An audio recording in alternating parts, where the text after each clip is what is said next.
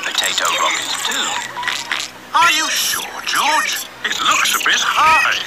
Daddy Pig doesn't like heights. Oh, hurry up, Daddy Pig! Oh, I'm not getting on. George is too small to go on his own. Oh, okay.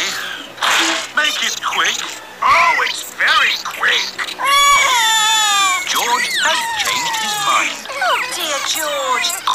Come to Mummy. Maybe I'll just get off too. George away! Have fun, Daddy Pig.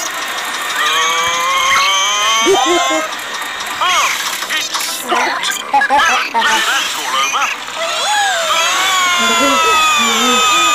Everybody